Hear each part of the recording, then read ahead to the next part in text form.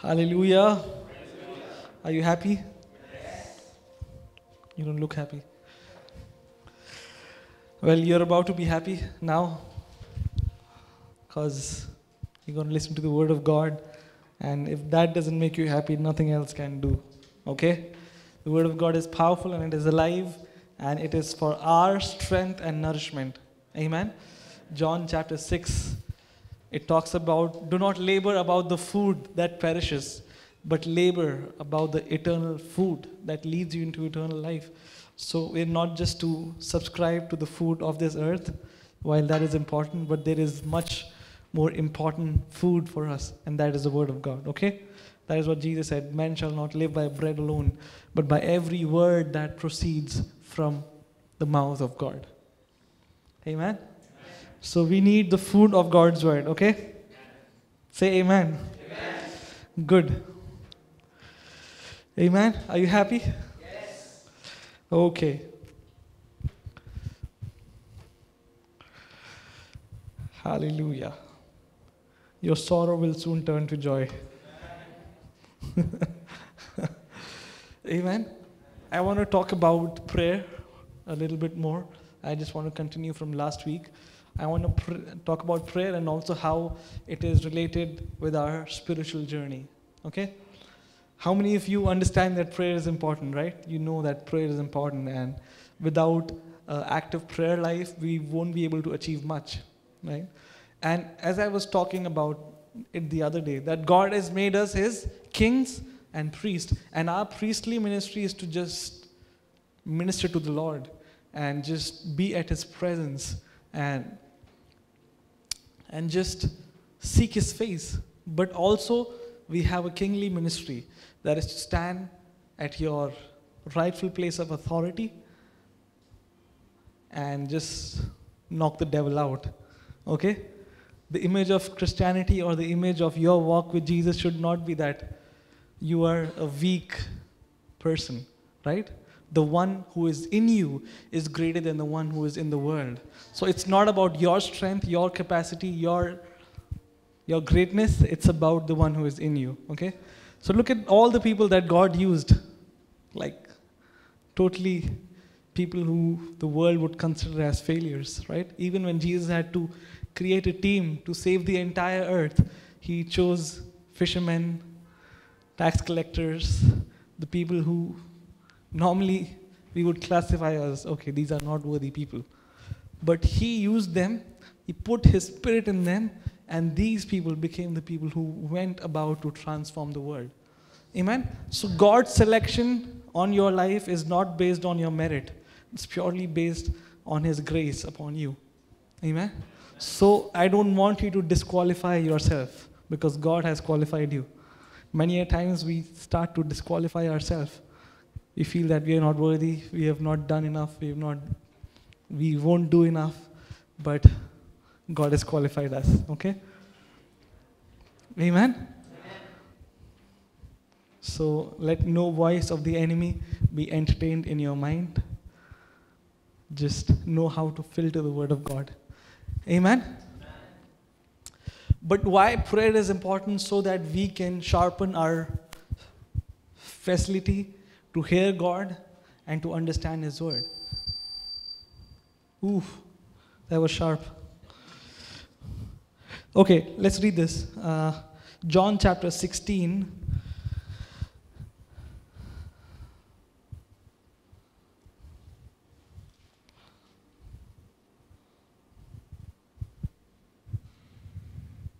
Verse 12 onwards. Okay?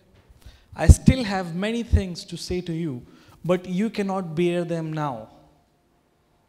However, when the Spirit of truth has come, He will guide you into all truth. Say, all truth. Okay, when there is all truth, how much lie is there? No lie, okay? So, what will the Spirit of God do? He will lead us to all truth, okay? For He will not speak of His own authority, but whatever He hears, He will speak and tell you the things to come. Okay? So, what are we doing? When we are engaging in a lifestyle of prayer, when we, when we start to maintain our discipline, prayer life, what happens? The things of the Spirit become real to us. Okay? Uh, as we studied yesterday, we'll come back to that. First Corinthians chapter 2, verse, I think it's 16. Let's just look at it.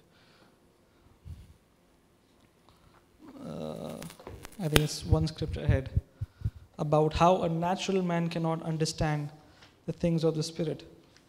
Yeah. But a natural man does not receive the things of the Spirit of God, for they are foolishness to him, nor can he know them because they are spiritually discerned. So we all have a spiritual capacity inside us. We are a spirit man and we are clothed with this amazing flesh. But if we only live by the flesh, we will never be able to understand the things of the Spirit. Okay? And in Galatians chapter 5, we read about how the life of the Spirit is important. Okay? The walk of the Spirit is important. And let me tell you, the walk of the Spirit is equal to the walk of power. Right? If you want to walk as a powerful believer, as a powerful disciple, it is impossible without you having a prayer life. Amen? As I said, you see, by coming to church and by receiving the word, I am sure the blessings of the Lord will follow into all of our lives, right? In fact, just by the nature of you being dedicated and coming to church, the blessing will come into your life. But I cannot guarantee that you will walk in power. You see, even Paul, he was such a great guy. But when he's writing Corinthians, he's saying, It is not about my greatness. I preach Christ crucified, and what I preach, it is demonstrated by power. Right? And that is what God said that I will make you a sign and a wonder. Okay? So, if you want to live a life of power, walk in victory, do the impossible, how is that possible? With the spirit life. Amen? Because it says, the one who is in me. So it is not your capacity. But if you have to start to operate with the one in you, it begins in your prayer room, it begins in the secret place. Amen? Amen? Hallelujah. Even when Jesus was at the house of Mary and Martha, so one sister was totally distracted by all these things. But there was Mary, and she was at the feet of Jesus. And what did Jesus say? That she has chosen the better part, and no one will be able to take it from her. Amen? So you need to choose the better part, and that is building your life on the foundation of prayer. Amen? Psalms 11, verse 3 says, If the foundations are destroyed, how can a righteous man stand? And for our spiritual life, the foundation should be the Word of God and the Spirit of God. Amen. And how does the Spirit of God operate in our life? When we start actively participating in prayer life. Amen. And if your spiritual life is only on on a Saturday or Sunday evening, then you're probably in danger, right? But if you know that you're a spirit man and you need to feed your spirit with the word of God, with prayer, you know that your spirit man is getting stronger day by day. Amen? You see, that is why I always encourage praying in the spirit. That is what Paul is saying that when I pray in an unknown tongue, I am edifying myself. You know, when you enroll into this prayer, what is happening? You are in the school of edification. And the more you pray, what is happening? The more edification process is happening in your life even when you don't realize it, but it's happening. Your character is being built. The dreams that God has put in your heart begin to come out. And what? The Spirit starts to transmit what God is saying to you. You see, you have the Spirit of God residing inside you. Do you believe that? Right? That's what Paul says, that he has made a permanent residence in a heart. And you have also your spirit. And they both are living together, right? So, what God's Spirit does is He starts to communicate things. See, for example, I have a mic here. There's no wire. Why? Because it is digitally transform, tra- I mean, transmitting something to a device there called a receiver. So, our spirit is like a receiver that receives, and God's spirit is like a transmitter which receives from God and starts to transmit to us. But if we live all our life with our receiver off, we will never be able to hear his voice. But you know what? God is always speaking. So don't say that I have never heard the voice of God. Maybe your receiver is off. And how do you turn it on? By subscribing into prayer, by beginning a lifestyle of prayer. And if you see anybody that God has used to demonstrate his kingdom on earth, these are people who have a very active prayer life. Amen. I was just reading about Smith Wigglesworth, and he was a great evangelist, and God used him powerfully in his time. And he was just a plumber, and he didn't even have the capacity to talk properly. So his wife was doing most of the talking. So in one instance, it says, even when he had to go to buy groceries, he did not have the capacity to talk properly. So his wife used to do all the talking. But this man understood, and one day in a similar setting, he sat and he received the baptism of the Holy Spirit. And that day, his life changed completely. Since then, he began to enroll into prayer. And I'm just going to read out of his, like, I read this, this is so powerful.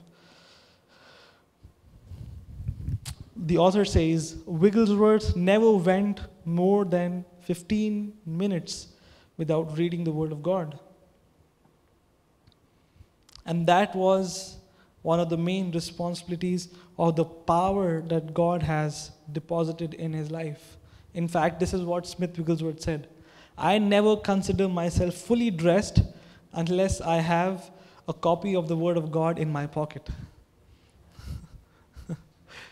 and this is a guy, every 15 minutes, he used, to, he used to have a pocket Bible. He used to take it out and start reading it. Like just as you use your phone nowadays, the same way he would use his pocket Bible. He used to open it and read it. What is happening? He's constantly feeding his spirit. And one day, you realize that your spirit man becomes so powerful that no sickness can stand against you. The moment you lay hands on the sick, they recover. Why? Because now you have built your spiritual capacity. Amen? Amen? So, our main agenda in life should be to build our spiritual capacity. Amen? Not just to become buff physically, you can do that, but also to become spiritual people who have great capacity to speak. So, if praying for 10 minutes is difficult for you today, your goal should be that I increase my capacity so that I come to a point where praying 30 minutes is easy for me. And then keep growing, keep growing. You know what happens? When you start to become responsible for your life, God thinks, okay, now this guy is responsible. Let me trust him with some of my power because it will never happen without us going through this phase. Amen? Amen? Amen? This is not to condemn you, okay? This is to inspire you to spend more time in prayer. And as I'm speaking, I'm speaking for myself. Amen? Look at the life of Jesus. He is God in flesh. He is logos. He is written word. In the beginning was the word, and the word was with God. And he is now incarnated as Jesus. And he spent most of his nights in prayer. In Luke, it says, then he departed from the multitudes, he went up to the mountain, and what did it say? He prayed all night. Anyone prayed all night? if you have, please lay your hands on me and bless me. because I have not. I've tried, but I probably can't do it. But I will. So, what is that? Look at the life of Jesus. And again and again, he used to separate himself from the crowd and go into his secret place in prayer. And I believe that is one of his main keys of walking in power. Right? Look at the life of Jesus. He has to heal the sick, raise the dead, he has to suffer all this persecution. Do you think that is possible without a life of prayer? And even before he began his ministry, what did he do? He went to the mountain, into the wilderness. 40 days, what was he doing? Fasting and praying. And it mentions that as he came down, he came down with the power of the Holy Spirit. Okay, even though he received the Holy Spirit, the baptism of the Holy Spirit, heavens opened up, and there was a public proclamation that this is my beloved Son. But when he went to his prayer time, then it mentioned that he received the power of the Holy Spirit. Amen. There are many powerless believers today, but that should not be the case. Let us be people who carry the power of God in our life. Amen. Amen. Tell your neighbor, I need to pray more. I said, I need to. You don't say you need to pray more. Say, I need to pray. Amen. Amen. Hallelujah. Hallelujah. Okay, let me tell you one more secret.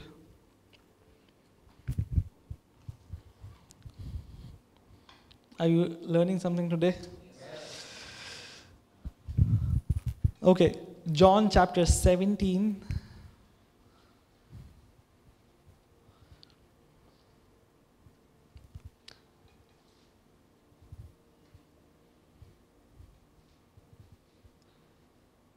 Verse 7 and 9. No, so, sorry, 8 and 9. Verse 8 and verse 9. Let's read it together. Okay, for I have given to them the words which you have given to me. You see, Jesus, his main mandate was to give the word of God to us, right? Although he came to die for us, to take our sins on the cross, so that through his resurrection we may have life. But in John 17 17, it says that sanctify them by the word. Uh, in fact, in 17:14 it says, I have given them your word. Okay? This is just before he goes to the cross. And he says, I have already completed my work. I have given them your word. Let's come back to verse 8. For I have given them the words which you have given me, and they have received them and have known surely that I have come forth from you, and they have believed that you have sent me. Verse 9. I pray for them, I do not pray for the world, but for those whom you have given to me, for they are yours. You see, Jesus, even though he has given you his word, what is he doing? He's praying for the disciples. And in this amazing garden called Gethsemane, when Jesus is praying, he's asking his disciples, Can you come and can you stand with me in prayer? And what happens? They are dozing off. And he's coming back and saying, Can you stay awake with me for a few more minutes? And he comes back and he finds him asleep again. Amen. I like that scripture because I think if I was there, I would also have slept. But that is the love of God for us. Amen. And one thing that I understand about the Spirit of God that it will never bring you to a place where you feel pressured about anything. But it will always be a small urge of the Spirit inside your life where you feel that I think this is a season where God is taking me more into prayer. Amen? And you will see that those seasons, those times are really beneficial for your life, your walk with God. Amen? See, you cannot depend on someone else's prayer for your spiritual walk. Right? It's good that you come to church and there is community, there is prayer, but all your life you cannot depend on that. You need to have your personal walk with Jesus. If you have accepted Jesus as your personal Savior, you need to have a personal relationship with that Savior. Amen? It's like I married my wife, but now I have a mediator to talk to her. Like, can you tell her this?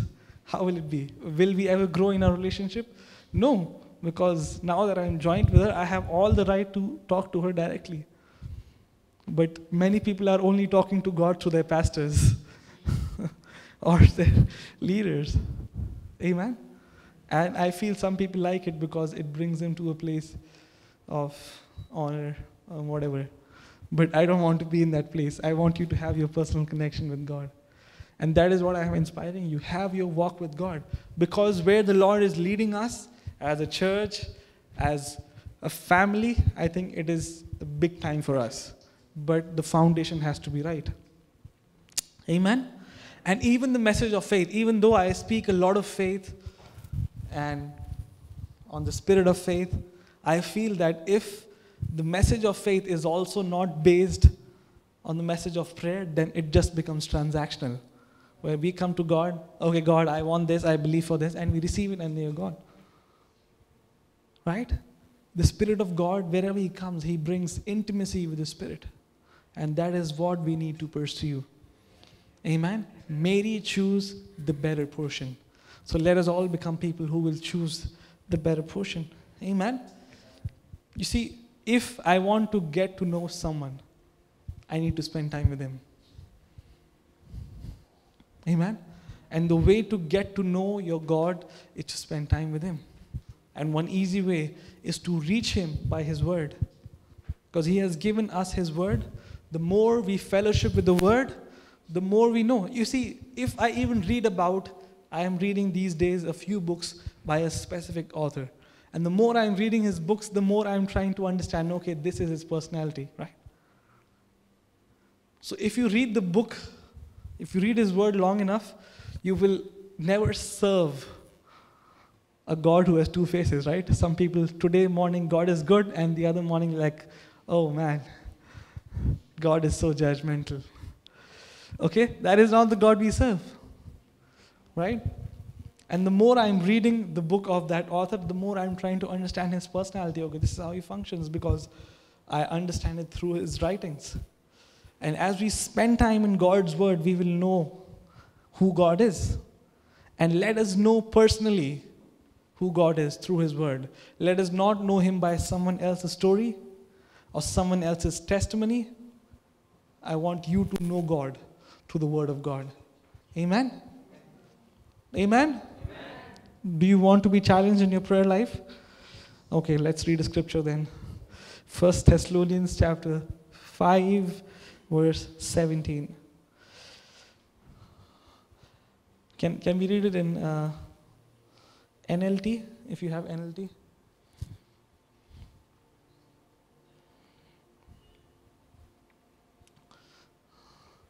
The, the New Living Translation says like this Never stop praying. Isn't that amazing translation? It says never stop praying. It doesn't mean that now you become like those monks who are always chanting something. No? It means once you develop it, don't lose the rhythm. Don't drop it. Be at it. Keep doing it, right? You see, because we are in His world where everything is very quick, Maggi is in two minutes. Now Blinkit, I ordered one day and it reached at my house in four minutes. I don't know how they do it. Everything is so quick. But I don't know, maybe the things of the Spirit are not too quick. You need to go through the process of learning, right? And even if you have to become fit in your body, it is not a quick process. I wish it was quick. It takes a lot of work. It takes a lot of work, hard work, dedication, right? All those athletes who have made it, you will never say, oh man, he's so lucky. if you say like that, people will think you're crazy. Because it's not about luck out there, it's about what they have done before they came to that place to run. Amen?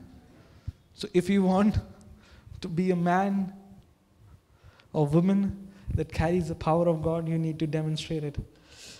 Amen. Hallelujah. Okay. Ephesians chapter 6, verse 18. Pray in the Spirit at all times and on every occasion. Stay alert and be persistent in your prayers for all. When last night I was speaking a little bit on persistent prayers. You know, prayer is not that, okay, it's not that you have issued a notice to God. God, this is what I want, let it be done. Sometimes you have to be persistent in your prayers, right?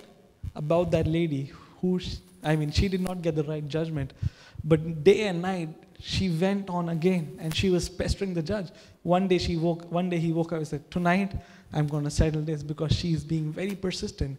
And even that woman who came to Jesus and says, I will not give the children's bread to dog or something like that. It says, whatever falls off the master's bread, the table, even the dogs eat it happily. What is that showing? She is not offended by anything. She is just persistent because she wants to receive that healing. And Jesus said, I have not seen faith like this. Amen. So there is value to your persistent praying in the Spirit. So when you pray in the Spirit, your mind is turned off, your mind may be wandering here and there, but keep doing it, keep praying in the Spirit. Amen. Amen. Hallelujah. A few more scriptures and then we'll go ahead. Matthew chapter 6, verse 6. But when you pray, go away by yourself, shut the door behind you, and pray to the Father in private. Okay? What it means is not that every time you need to pray, you need to go to a specific place and pray. It means that you need to have a personal prayer life, right? Don't, you see, I told you the other day also, if I give the mic and I invite you to pray, everyone would love to come and pray, right? But you won't have that same excitation, uh, excitement maybe in your room to pray because nobody is hearing you. But we need to have a personal prayer life, a prayer walk with Jesus. And it says, But when you pray, go away by yourself.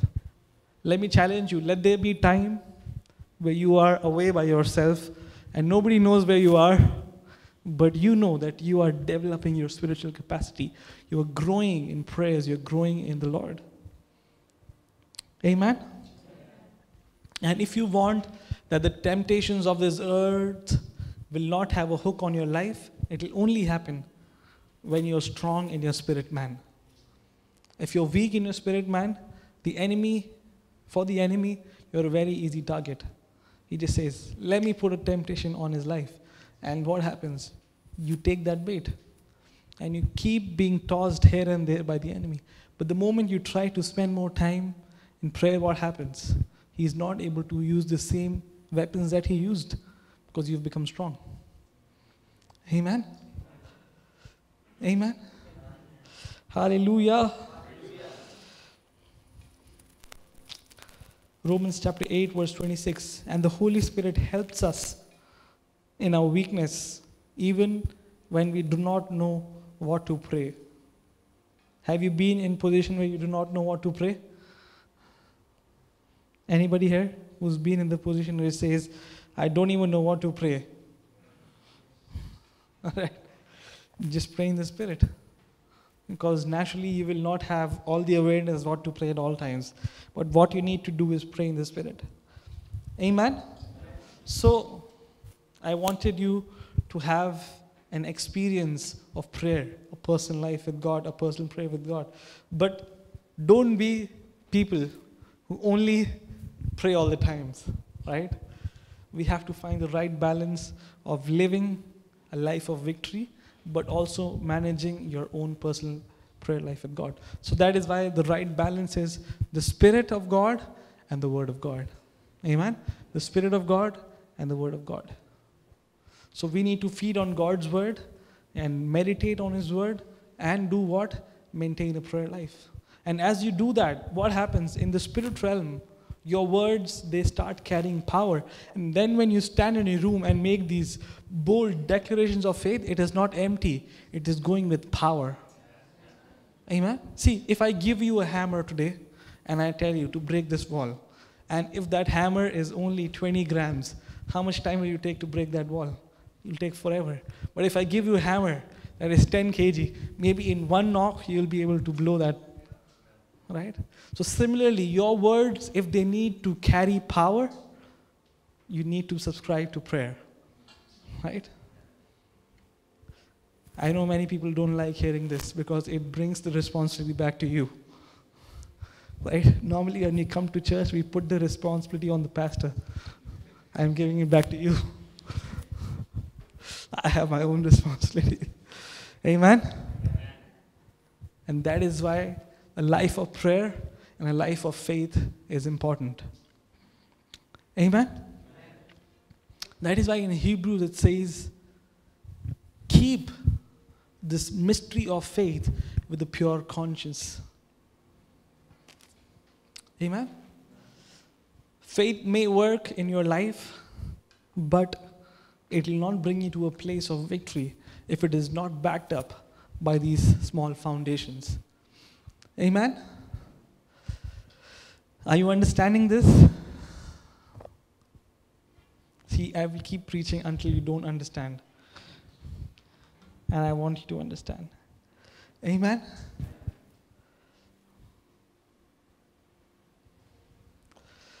Hallelujah. Okay, let me give you four points and then we'll close. Four points about the Word of God. The first point is read the Word. Okay? You know, you need to have a disciplined reading in your life. Okay? It's very true. Readers are learners, and learners are readers. If you're reading God's Word, what is happening? You're feeding yourself with the Word of God. Right? Don't wait for, I'm waiting for the time where I will have the leading of the Holy Spirit to read the Word. Right? You will be a malnourished Christian. Don't wait for the leading of the Lord. Just make it a discipline that I will read God's Word every day. Is that difficult? Yes, it's very difficult. But once you start doing it, you'll get a hook of it. And then, once you're standing on that foundation, everything will become easy. You see, unless you do not know the word of God, the devil will come with all kind of lies. He will come with the lies that you see God has left you alone. You are nowhere in God's eyes. You are all alone. But if you know God through His Word, what happens? You have the right standing. You shall know the truth, and the truth shall set you free. You see, the truth is out there. God loves you, He's given His life for you. But until you know the truth, it is as good as a lie. So, what you need is revelation and knowledge of the truth. You see, God has blessed you. Do you know God has blessed you? He doesn't want you to be sick. Do you know that? God does not put sickness in your life to teach you a blessing. But if you don't know these simple truth, you know what will happen? Devil will keep having a hold on your life. It's power. Okay, read the word. The second is consume the word until the word consumes you. Amen. As the doctors say, you are what you eat. If you eat junk, you are. I didn't say it. But if you eat healthy, you become a healthy person. So, what do you need to do? You need to have a right intake. You see, the moment you're sick and you go to the hospital, what do the doctors ask you? Did you eat something bad? Is there any food poisoning? Why? Because what we eat starts to affect us. If you eat Maggi, breakfast, lunch, dinner, you will not be able to have a healthy life. But if you start to eat these uh, boring greens and vegetables, somehow you will be healthy. You see, I'm not that healthy.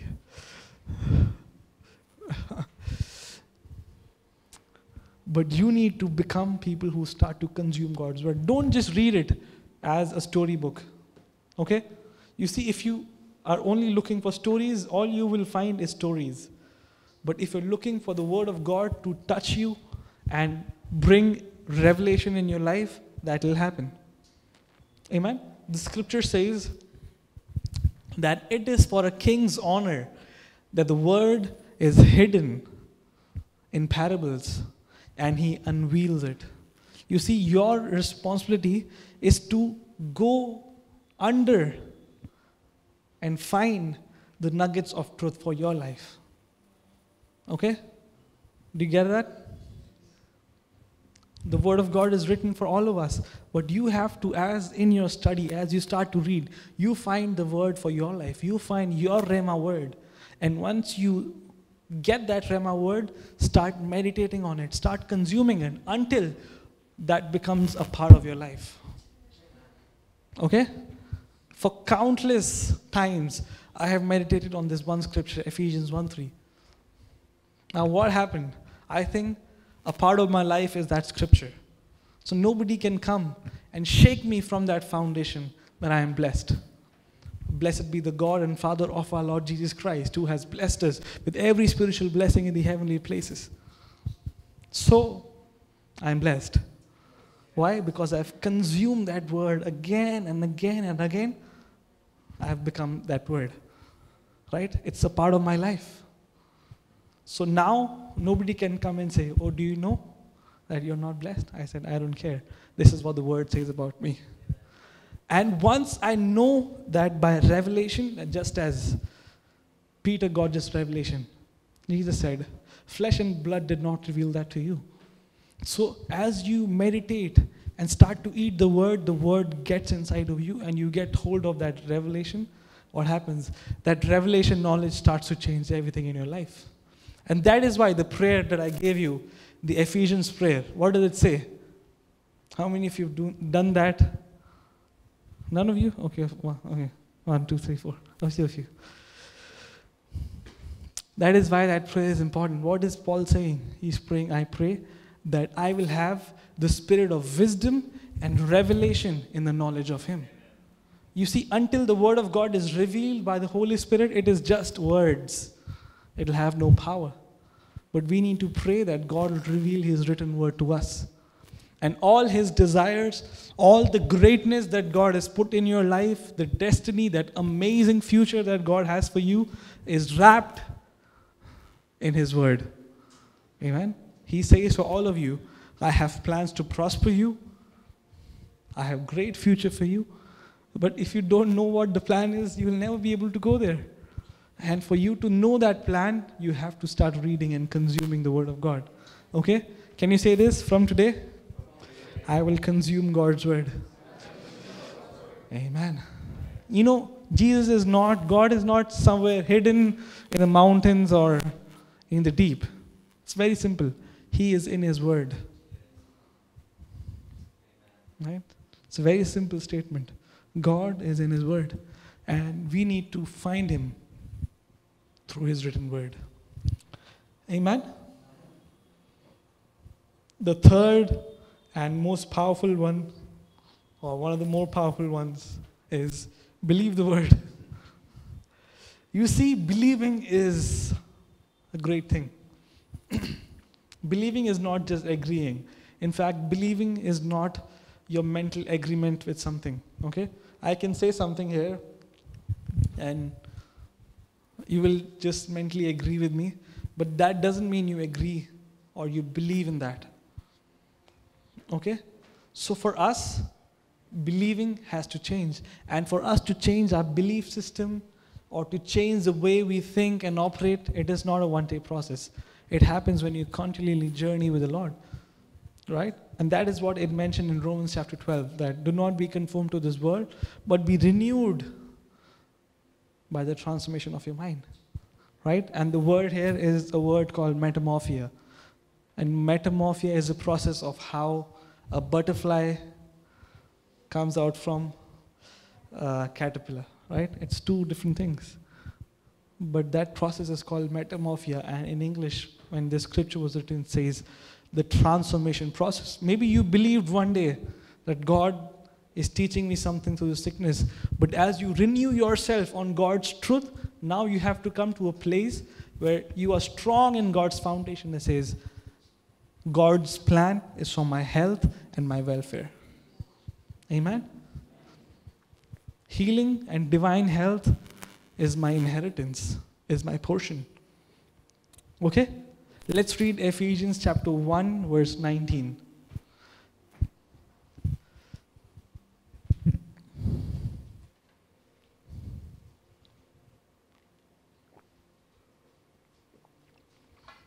What is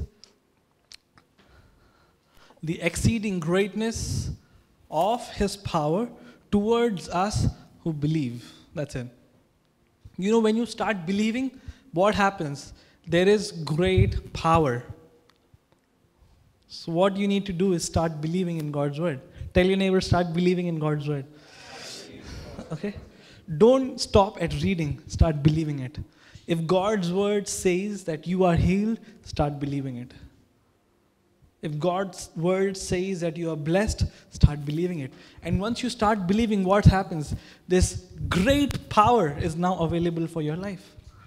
But it starts when you start believing in God's word. You see, I was telling this yesterday also. Uh, one of the greatest destructions that mankind has seen is when those atomic bombs were dropped in Japan, right? And about 98,000 people were killed. But there's this Old Testament guy who was at war, and one angel of the Lord came and killed almost 200,000 people. One angel. Do you see the greatness of the God that we serve? The power? That in his armies of angels, one angel has the capacity to knock out 200,000 people. Amen? And all these angels are sent as your ministering spirits. But you will not be able to benefit from that until you do not believe. You see, believing has great power. So, what you need to do is believe in God's word. And for you to believe, an easy route to go there to believe is to start speaking it. You know, when you start speaking God's word, what are you doing? Your mind is being convinced of the truth, and then your heart is fully convinced. And when your heart is fully convinced, now when you release the word from the word, the word of God from your mouth, it goes like a sword and fights all the battles, and you will always have victory. Amen. The last point I want to share will come after this second last point. Uh, Romans chapter 10.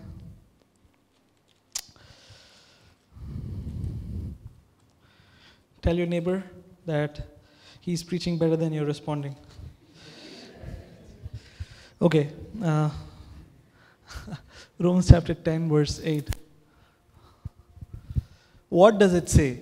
The word is near you, in your mouth and in your heart. That is the word of faith which we preach. Paul is saying that. You know, Paul was a word of faith preacher. And what is this? The word is near you. Tell yourself the word is near me. One more time. The word is near me. And where is the word? In your mouth.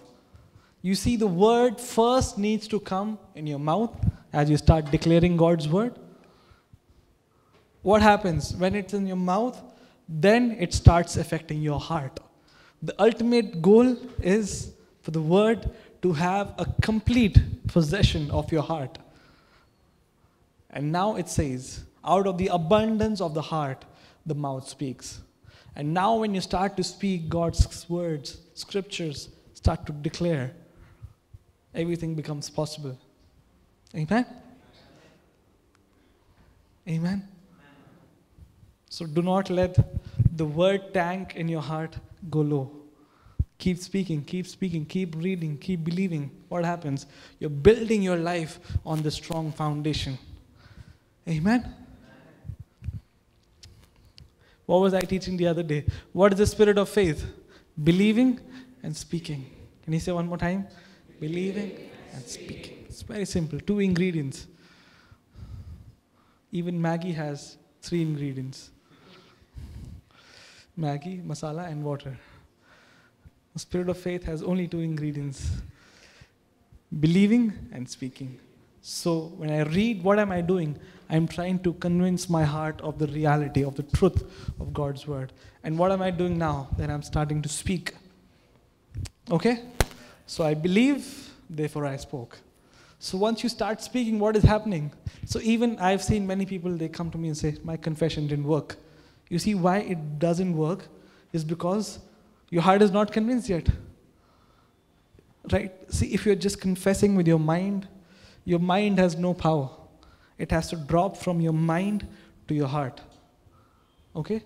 There are some things, some memories, or a certain belief system that are now dropped in your heart. Nobody can steal it from there. Okay?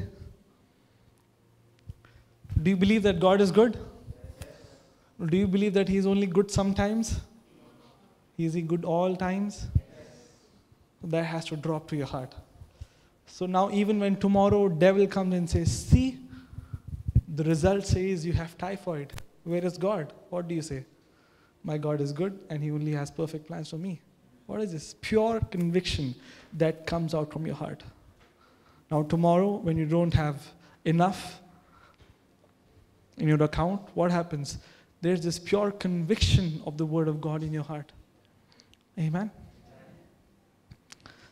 So, how does this happen? When you believe and speak, believe and speak, believe. And we've had countless testimonies of people's life being changed by this very simple principle believing and speaking. Amen? See, you are not just a natural person, you are a spiritual person. And the things of the Spirit are such which won't make sense to our natural mind. Amen?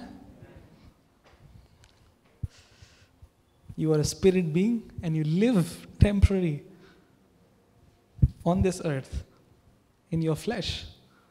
So start to live and focus your life more by living by the Spirit.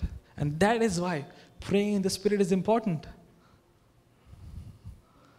It's a weird analogy, but I'll share it anyways, okay? This is just my imagination. This is not in the Bible. This is not my theology, okay? Okay?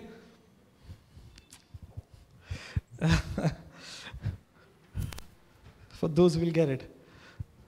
Just imagine that you have a spiritual capacity, you have a spirit man. And if you totally ignore it, what happens? Spiritually, you are malnourished, right? There is nothing, there's no strength. And imagine you reach heaven because you bought the salvation ticket. You reach heaven, but you're like this malnourished person. There is no strength in your spirit man. But imagine the person who took time on this earth to build his capacity, to become buff spiritually. When he enters heaven, what happens?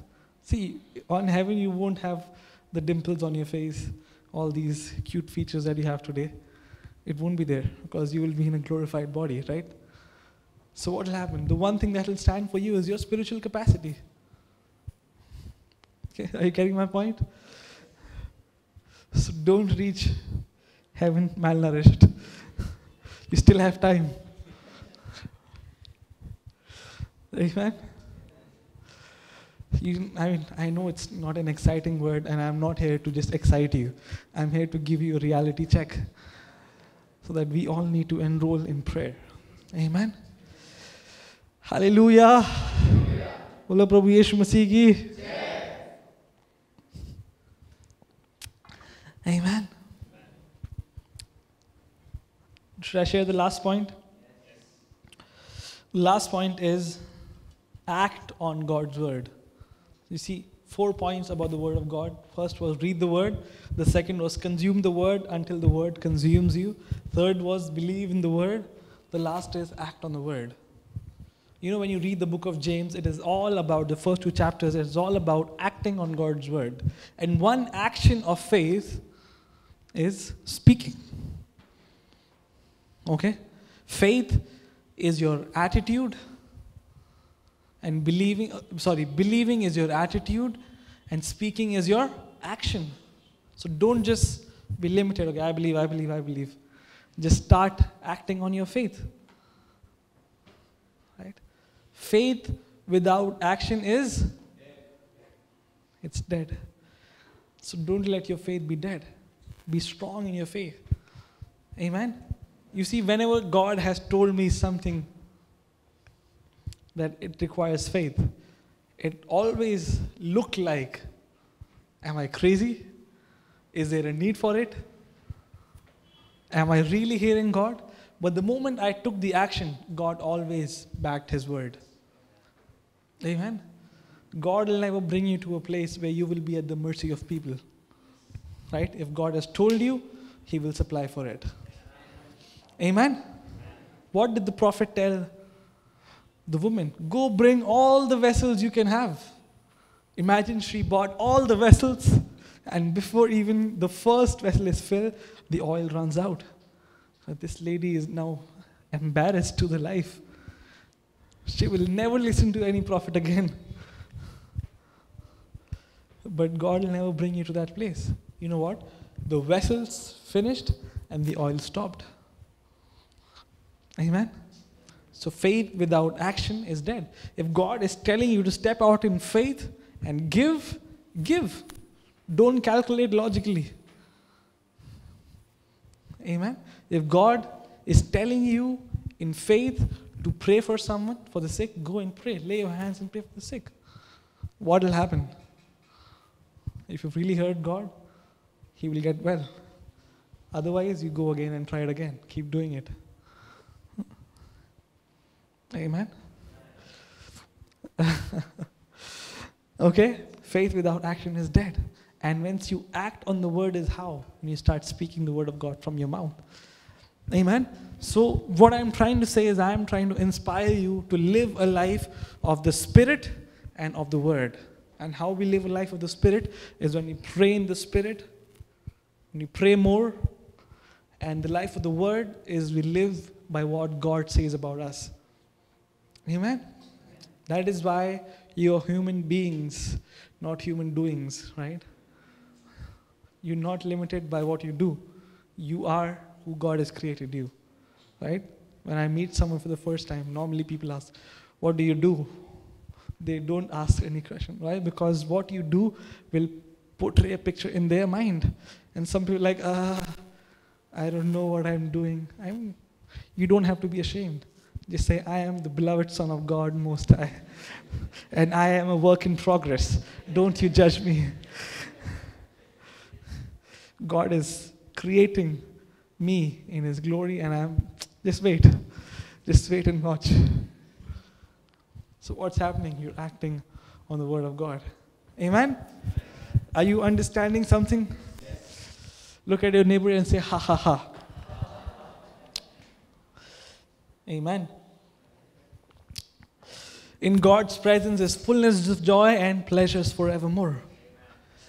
So if you're not happy, you should be happy. And if you're not happy, you should be happy. and if you're happy, you should be more happy. And if you're more happy, you should be more more happy. Amen. Rejoice in the Lord always. And again I say, rejoice. Paul is not writing this out of a five star hotel. Rejoice. He's writing this out of the most dangerous prison. He's saying, rejoice. He's like, I don't feel like rejoicing, but I will rejoice. Amen. What is he doing? He's acting on faith. Amen.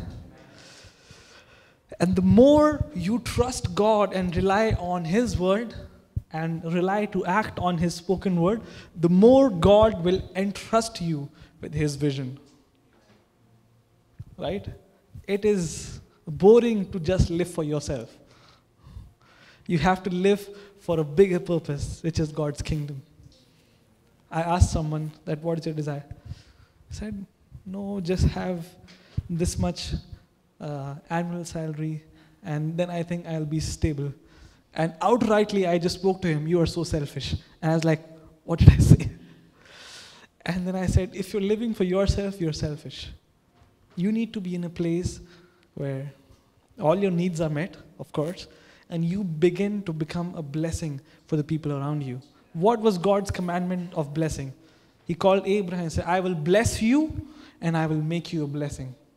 Right? The blessing is not just for you, it is for you to become a channel of blessing. But if God sees you, okay, now that I've blessed this guy, he's not being the right channel. Okay, let me find someone else who can be a channel of blessing.